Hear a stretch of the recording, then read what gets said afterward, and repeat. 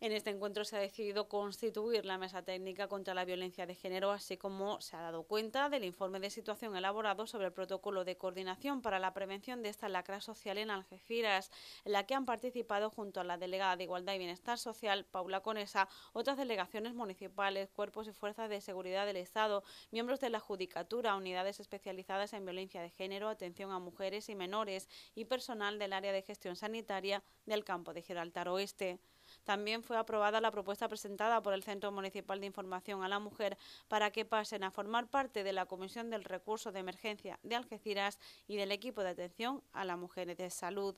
Finalmente, el Centro Municipal ha informado de las actuaciones realizadas por este departamento del Ayuntamiento con cargo a los fondos del Pacto de Estado contra la Violencia de Género y con el punto violeta.